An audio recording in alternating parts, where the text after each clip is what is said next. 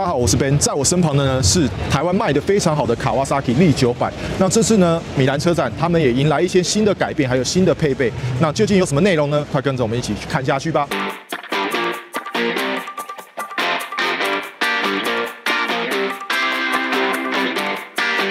首先呢，你看到它的车灯，车灯整体的外观啊，你乍看之下其实跟过去是蛮雷同的，一样采用一个 LED 的铜灯，但是呢，它在这个造型的部分啊，做了一些修整，下面呢一样有这种往前像是一个小翅膀的这种概念，那这边呢多了一些肌肉的线条跟纹理和转折，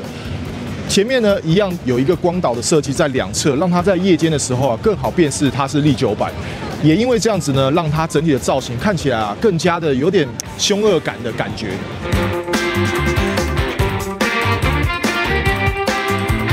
它的车尾造型呢，其实乍看之下跟过去也是非常的雷同，但是呢，我觉得有一个特点是不变的，就是呢，它这个立字样的车灯、车尾灯一样，还是传承了过去的整体风格。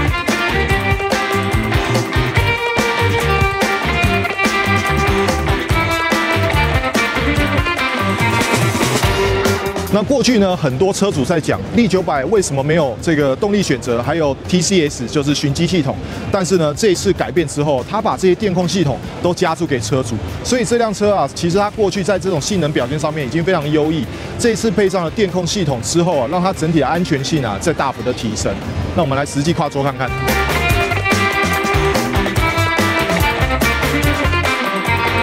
以我一百八十公分的身高来乘坐啊，其实它的这整体坐姿啊，算是坐高啊，算是非常的低，我几乎可以这个双脚平贴地面。那它的乘坐姿势其实跟过去的力九百啊，我的印象中啊，感觉其实蛮雷同的。油箱做的很大，但是它的腿的造型呢，则是削的非常的明确，所以让我在这边固定身体啊，有明显在我的膝盖这边有一个很好固定的一个位置，可以很轻松的夹持。手把的位置呢，稍微让骑士往前倾，呃。整体来说啊，它这样子并不算太趴，但是呢，它可以应付你在高速底下稍微有点风的状态下趴车会非常的好趴。那我觉得这次有一个重点啊，就是它换了一个全彩的液晶仪表。过去在 H2 S 叉你才会看到有这种全彩液晶仪表，但是今天呢，力九百它一样也加入了这颗液晶仪表，让它整体啊在白天还有夜晚的辨识性都大幅的提升。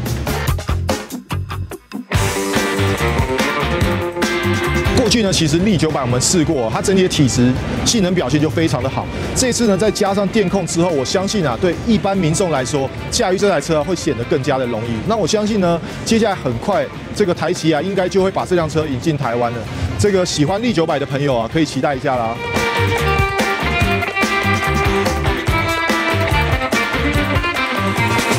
以上呢就是我们针对这次米兰车展力九百做的介绍，记得锁定我们 Super Moto A 频道，我们下次见，拜拜。